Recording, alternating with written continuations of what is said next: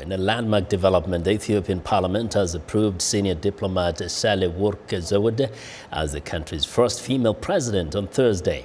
This cements another shift in the country's political system from Prime Minister Abiy Ahmed.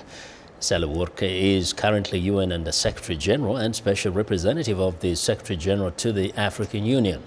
The president's post is a ceremonial one in Ethiopia. The prime minister, who is the head of state, holds executive power.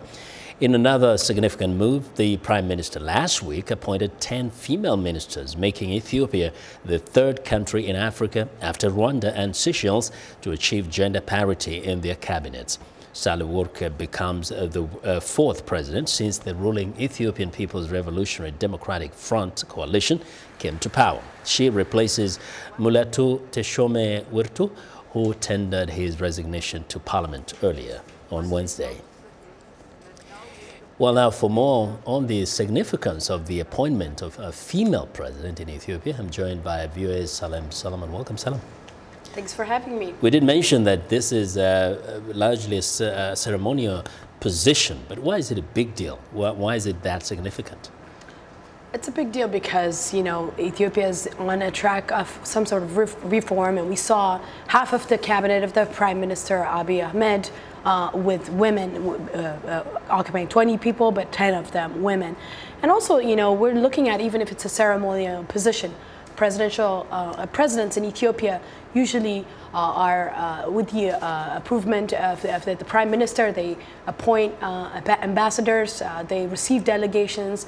It's more a ceremonial for that reason, but it's also symbolic because it's, it, it signifies in a country like a patriarchy like Ethiopia that women play a big role in higher places. So it, it shows that it has symbol, symbolic. Yeah, uh, indeed. After this appointment, uh, the minister, the prime minister's chief of staff, uh, Fitsum Arega, tweeted. Uh, as follows. He said, in a patriarchal, patriarchal society such as ours, uh, the appointment of a female head of state not only sets the standard for the future, but also normalizes women as decision makers in public life. So in a way, it can this be seen as a, a positive influence, not only in terms of uh, parity within a cabinet, but also other sectors, whether private or government, uh, within Ethiopia. That's true. And also, like, you know, if you look at the parliament of Ethiopia, 37% are now women, which is way more than the portion of uh, women in U.S. Congress here in the U.S. And so it's very prominent and it's a big deal because of this. But let's not think and forget that Ethiopia also um, suffers a lot of gender-based uh, issues, as you said, patriarchy, or as the spokesperson said, patriarchy. So if you look at the serious issues that Ethiopia has, they have child marriage issues where young girls are married off at a young age.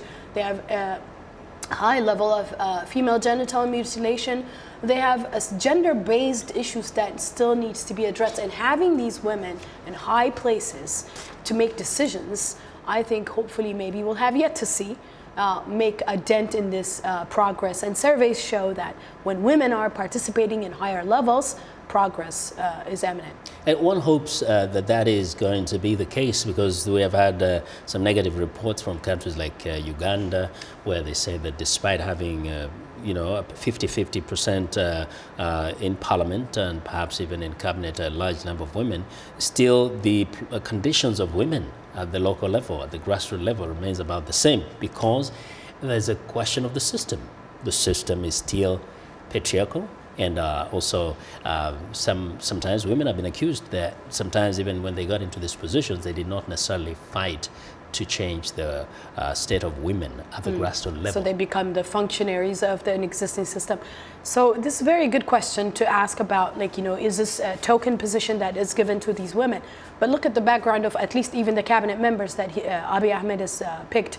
Most of them are PhD holders. They have a proven track record of, uh, of government uh, positions. Some of them come from ministerial positions. So these are uh, government position holding, even some of them engineers, mm -hmm. tested, uh, proven track record. So we have to see. I mean, this is just a new reform that mm -hmm. we're mm-hmm. seeing. We have to see what this means for the average person, young girl and woman mm -hmm. in Ethiopia But these women that are being picked, it seems like it's with substance. Let's So- talk a little bit about uh, President Sahle Work. Uh, she is not just some woman.